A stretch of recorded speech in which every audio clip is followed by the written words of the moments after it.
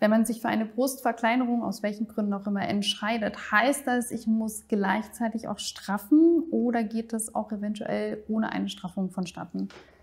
Also ich würde niemals eine Brustverkleinerung ohne eine Straffung machen. Es geht ja auch immer um die ästhetische Form der Brust. Was passiert bei einer ähm, zu großen Brust?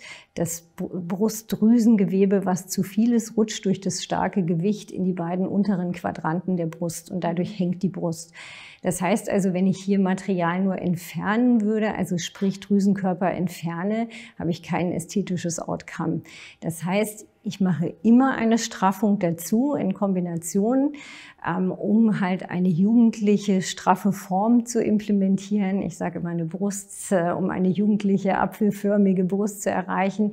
Ähm, eine Brust würde ja aussehen wie eine Torte und das sozusagen das Brustdrüsengewebe in die vier Quadranten wieder verteilt ist und nicht nur in den zwei Quadranten hängt. Gravitation wirkt sowieso ein Leben lang und äh, wird nie da oben stehen bleiben. Und deshalb geht es natürlich erstmal darum, das so optimal wie möglich zu gestalten.